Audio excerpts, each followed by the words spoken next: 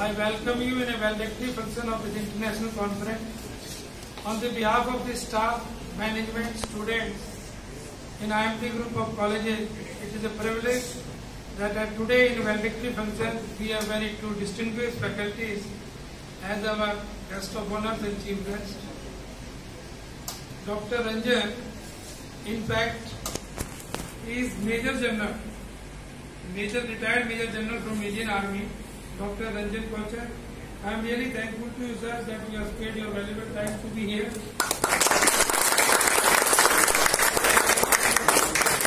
And Dr. Sarmani is here. I am equally thankful to you, sir, that you have spared your valuable time. These two dignitaries naturally advise you, motivate you to excel in your respective field.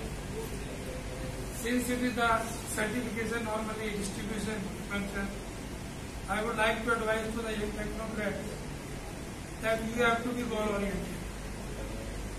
In this era, you have to fight for your survival. Gentlemen, you can see around that even in the college pathway there are so many engineering colleges. But don't compete, don't think that you have to compete with only these technocrats. No. There are thousands of engineering colleges. After passing your degree, you are in the open market. My advice is you can try internationally also, you can try abroad also. There is nothing like that. It only values your capability. As per the degree is concerned, it is not necessary that you have to be from IITs and. No.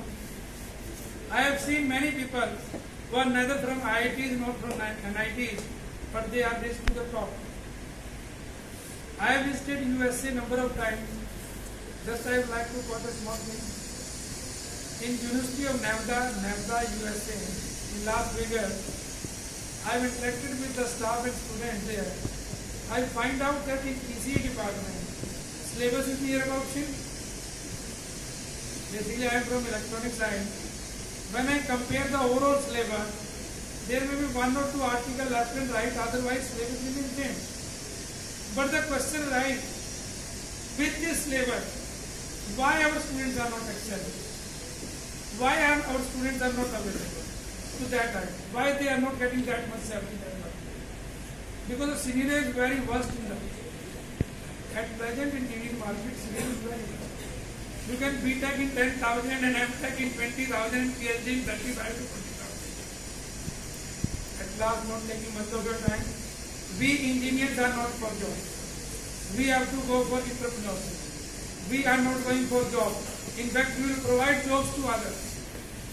So I would like to request you that after passing your degree, go for entrepreneurship, serve this society, and give jobs to others. Only then, if you do it, then only then this country can be a developed country. Otherwise, it will help. Next thing is go for quality. Attending a conference means nothing until unless you learn something. Go for a original work.